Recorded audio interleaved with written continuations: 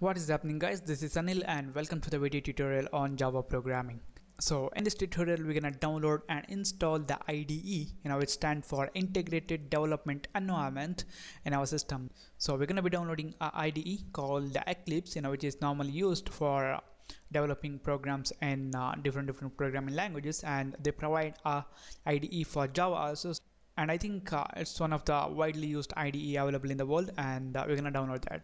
So first of all if you guys want to know you know why we have to use an IDE then you know to run a Java program you know as I told you before in the previous tutorials you know we need to run our programs through the command prompt and uh, we need to enter some commands there. But you know when you develop programs you know you know every time you don't want to write the commands in the command prompt and execute that. So what you want is a simpler solution for that and within just one click you can execute your programs. So the IDEs are going to allow us to write the program in an editor and also they're going to provide the syntax highlighting and also you know we can run the programs in one click. So these are the benefits of using an IDE so it is not necessary that you guys need to use an IDE you guys can run it from the command prompt but if you're using IDE it's gonna be simpler. So let's begin. So the first thing that we're gonna do is we're gonna go to the eclipse.org which is the website where uh, Eclipse IDE is maintained and uh, we're gonna go to this downloads. So here you guys can see we have Eclipse standard edition and also we have uh, the Eclipse IDE for Java developers Eclipse IDE for Java EE developers. So what you guys can do is you guys can download the IDE for Java developers or you guys can download the standard edition. So I got this standard edition because you know it provides much more features but if you guys download this Eclipse IDE for Java developers you're good to go.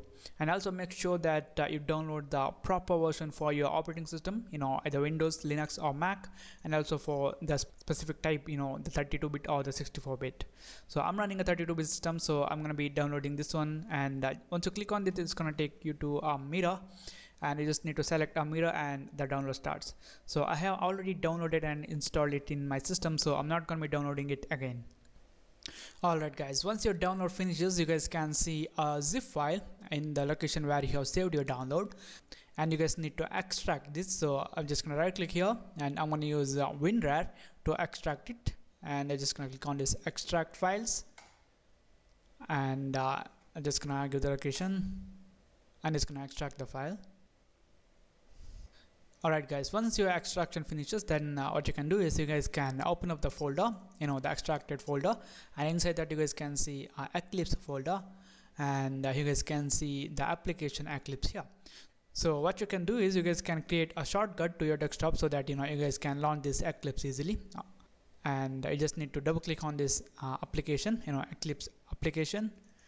And it's gonna launch the Eclipse IDE and also make sure that you have installed the JDK in your system. Otherwise you know Eclipse is gonna produce an error saying that you know you don't have installed the JDK so you guys need to download and install it so here when you launch this Eclipse it's gonna uh, ask for a location to store the projects that you're gonna create in this Eclipse. So by default it's gonna be under your home directory and uh, workspace folder. So if you want to save the project there you guys can just click on this OK. Otherwise if you want to save your projects in some other locations you guys can change the location also. So what I'm gonna do is I'm gonna uh, change the location. So I'm just gonna go to my computer and uh, local disk F and I'm gonna create a new folder here and let's say Java video tutorials. Source. Alright. Just gonna select that and click on this OK. And and also I'm gonna click on this uh, use this as the default and do not ask again. And then click on this OK. And now it's gonna open up the Eclipse IDE after loading all the resources Alright, once you open up your Eclipse IDE you guys can see the welcome screen. So what you can do is you guys can close it. And now uh, you guys have the Eclipse IDE to work with and uh, you guys need to create a Java project and you know start writing the code. So I'm just gonna show you how to create a project and also how to run the Java code here in this tutorial. So first to create a project, you guys need to go to file, new and uh, here you guys gonna select Java project and you guys need to give your project name. Uh, let me say testing. And then leave all these things as it is and click on this next. Then click on this finish.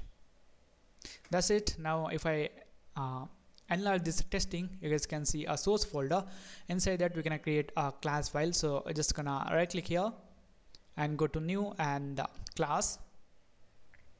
And you just need to give a class name. And let's say welcome and then uh, we're gonna have the public static void main method. So if you guys don't understand you know what are these things don't worry. You know you know I'm just gonna showing how to run a Java program in Eclipse. So follow the steps. So just select this one and click on finish. And uh, it's gonna open up the welcome.java and also you guys can see a meta here. And what you can do is uh, you guys can write a line. So just copy and paste the line that I'm gonna write here it's gonna be system dot out dot print line.